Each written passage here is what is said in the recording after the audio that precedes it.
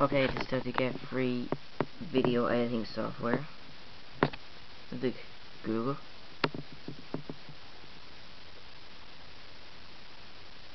And then you type in Wax 2.0.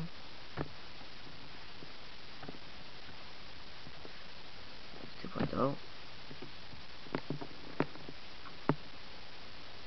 oh. Debug wax would be there. Debug debug mode, sorry.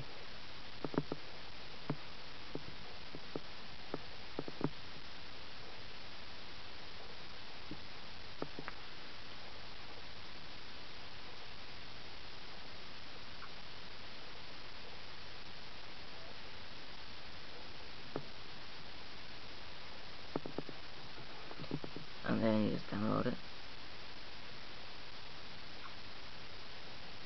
Um, I already have it downloaded, so here it is.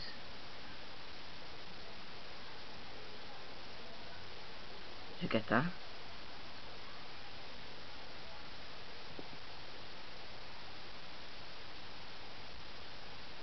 And you get this, and how to bring stuff in, you right click here, and add media files.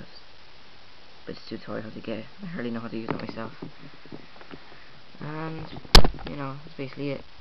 Subscribe, wait, rate and comment guys.